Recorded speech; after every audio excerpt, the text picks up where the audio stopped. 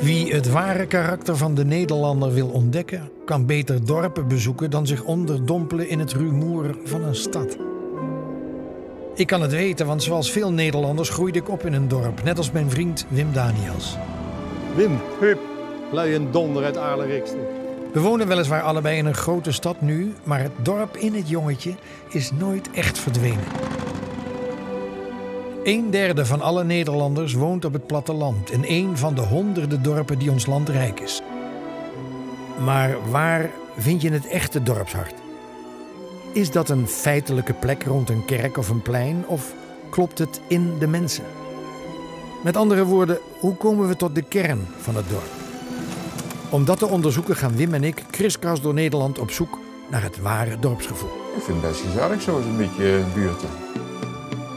Nou, ik kan u alvast vertellen dat we een aantal markante mensen gaan ontmoeten. Zoals Tweede Kamerlid Haptamoede Hoop. Die zijn basis vond in het dorp waar hij opgroeide.